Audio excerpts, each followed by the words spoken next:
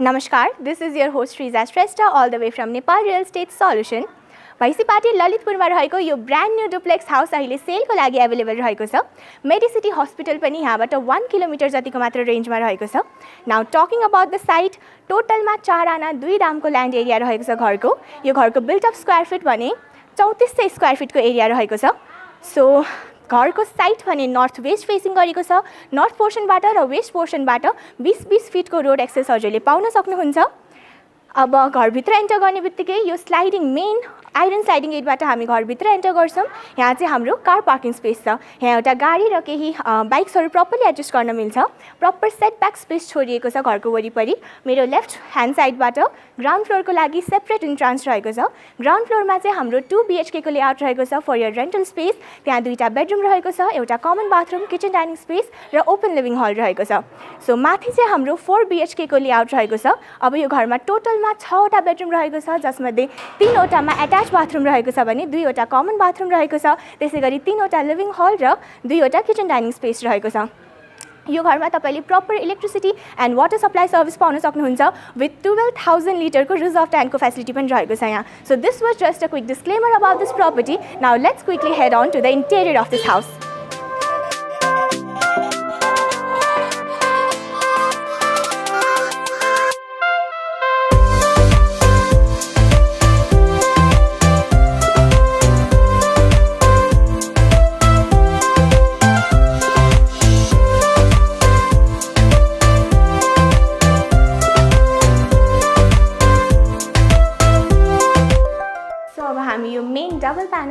carve डोरवेबाट enter गर्छौँ। Enter गर्ने बित्तिकै this is our lobby space lobby स्पेसमा properly wooden parqueting गरिएको छ। अब धेरै क्याबिनेट्सहरू एलोकेट गरेर राखिएको छ यहाँ। सु ऱ्याकको लागि अब स्टेयरकेसको मुनि पनि प्रपरली क्याबिनेट्सहरू प्रोभाइड गरिएको छ। त्यहाँ तपाईँहरू स्टोरेजको लागि युज गर्न सक्नुहुन्छ त्यो स्पेस अब हामी यही वुडन स्टेयरकेसबाट माथि जाँदैछौँ। This is our first floor level of this beautiful duplex house. First floor ma enter गर्ने बित्तिकै are welcomed by our beautiful open family hall. Heighted ceiling रहेको छ प्रपरली ब्युटिफुल स्यान्डलियर त्यसमा इन्कपरेट गरेर राखिएको छ वेल पार्केटेड फ्लोर छ polish parqueting गरिएको छ। यहाँ चाहिँ हाम्रो ग्लेज क्याबिनेटको टेक्स्चर छ ग्लेज मार्बल टेक्स्चरको टिभी क्याबिनेट छ भने प्रपरली ड्रयर्सहरू ऱ्याक्सहरूको पनि प्रपर सेटअप गरिएको छ। अब लिभिङ लिभिङ हलमा प्रपरली नेचुरल लाइट एन्टर भइरहेको छ किनभने यो पोर्सनबाट प्रपरली बाल्कनीको एक्सेस छ विन्डोको पनि राम्रो एक्सेस छ। सो यहाँ पनि हाम्रो एकदम प्रपरली सिलिङको इन्टेरियर गरिएको छ एकदमै सटल एलिगेन्टली गरिएको छ। So from here we are heading on towards our bedroom number 1. So this is our bedroom number 1 of upper floor. So यहाँ पनि प्रपरली फ्लोरिङको कन्टेस्टमा मजाले पार्केटिङ गरिएको छ सिलिङ एकदमै सटल इन्टेरियर गरिएको छ लाइटिङ प्रपरली भइरहेको छ। सो नर्थ वेस्ट फेसिङ छ नर्थ पोर्सन र वेस्ट पोर्सनबाट एउटा नर्थबाट बाल्कनीको एक्सेस छ भने वेस्ट पोर्सनबाट प्रपरली घाम एन्टर भइरहेको छ। विन्टरको एक्सेस छ एकदमै उज्यालो कोठा छ।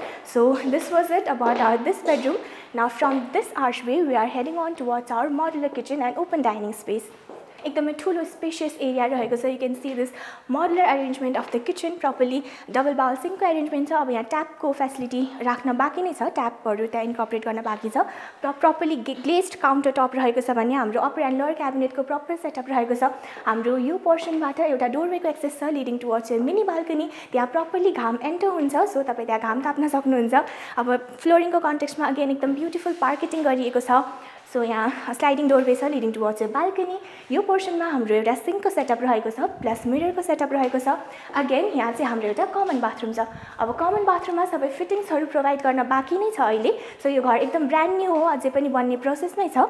नाउ मुभिङ अन अब हामी फेरि यो लिभिङ हल हुँदै यु क्यान अगेन सी एकदमै ब्युटिफुल इन्टेरियर गरिएको छ लिभिङ हलमा वुडन इन्टेरियर गरिएको छ.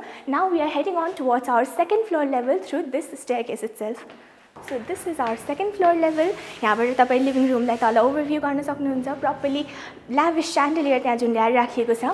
अगेन एकदम प्रपरली हाफ वुडन इन्टेरियर गरिएको छ। एकदमै हाई क्वालिटीको वुडन मेटेरियल युज भएको छ। वेल पार्केटेड एरिया रहेको छ। यो चाहिँ अब सानो एउटा फ्यामिली रुम भयो। एउटा फ्यामिली रुमको यतापट्टि एउटा बाल्कनीको एक्सेस पनि छ। नेचुरल लाइटिङ प्रपरली एन्टर भइरहेको छ। वाल लाइट सिलिङ लाइटको प्रपर एरेन्जमेन्ट छ। Now from here we are heading on towards our another bedroom so this is our second bedroom of this house अब यो चाहिँ मास्टर बेडरुम पनि भयो. यसमा एउटा एट्याच बाथरुम छ प्रपरली यहाँ क्याबिनेट्सहरूको सेटअप छ पार्केटिङ मजाले गरिएको छ। दुईवटा पोर्सनबाट बाल्कनीको पनि सेटअप रहेको छ। यहाँ एउटा ठुलो बाल्कनी र एउटा मिनी बाल्कनीको सेटअप छ। लाइटिङ एकदम प्रपरली एन्टर भइरहेको छ। सिलिङको एकदमै राम्रो सटल काइन्ड अफ इन्टेरियर गरिएको छ। So this was all about this room now we are heading on to our next room so this is our third bedroom of this house again फ्लोरिङको कन्टेक्समा एकदम well parqueted flowering गरिएको छ। यो पोर्सनमा हाम्रो एउटा एट्याच बाथरुमको सेटअप रहेको छ। अब एट्याच बाथरुममा प्रपरली टाइलिङ गरिएको छ। विन्डोको भेन्टिलेसनको लागि एउटा सानो विन्डोको एक्सेस पनि छ। अब त्यहाँ चाहिँ प्रपरली फिटिङ्सहरू प्रोभाइड गर्न अहिले बाँकी नै छ। सो दुईतिरबाट एउटातिरबाट हाम्रो विन्डोको एक्सेस रहेको छ भने अर्कोतिरबाट बाल्कनीको एक्सेस रहेको छ। सो प्रपरली घाम एन्टर भइरहेको छ। एकदमै उज्यालो एरिया छ।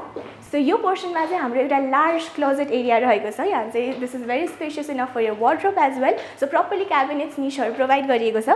सो दिस वाज इट अब हामी यहाँबाट हाम्रो नेक्स्ट स्पेसमा जान्छौँ। Again moving on from our this space हामी यहाँबाट सिधै हाम्रो थर्ड फ्लोरमा जाँदैछौँ। सो हामी हाम्रो थर्ड फ्लोरमा इन्टर गरिसकेको छौँ। सो थर्ड फ्लोरमा इन्टर गर्ने बित्तिकै एउटा सानो प्यासेज छ। यो पोर्सनमा चाहिँ हाम्रो एउटा मल्टिपर्पज रुम छ। अब तपाईँ यसलाई एज अ पूजा कोठा युज गर्न सक्नुहुन्छ भने अर्कोमा हाम्रो फाइनल बेडरुम छ।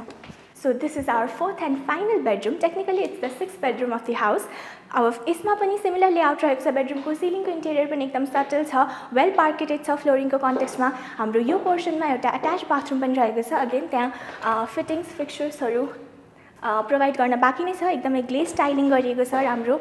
अब यो पोर्सनमा चाहिँ स्लाइडिङ डोरवेको एक्सेस छ leading on towards our half terrace again हाम्रो यो पोर्सनमा प्रपरली क्याबिनेट्सहरू प्रोभाइड गरिएको छ ड्रेसिङ टेबलको अरेन्जमेन्ट छ। यो चाहिँ हाम्रो एउटा क्लोज स्पेस भयो।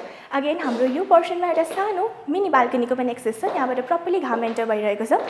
सो लाइटिङ पनि एकदम प्रपरली गरिएको छ। This was at about this bedroom अब हामी यहाँबाट सिधै हाम्रो हाफ टेरेसमा जान्छौँ। So this is our half terrace half टेरेसमा enter गर्ने बित्तिकै फर्स्ट अफ अल त एकदमै प्लेजेन्ट इन्भाइरोमेन्ट रहेको छ। वरिपरि एकदम ब्युटिफुल भ्यू हामी देख्न सक्छौँ।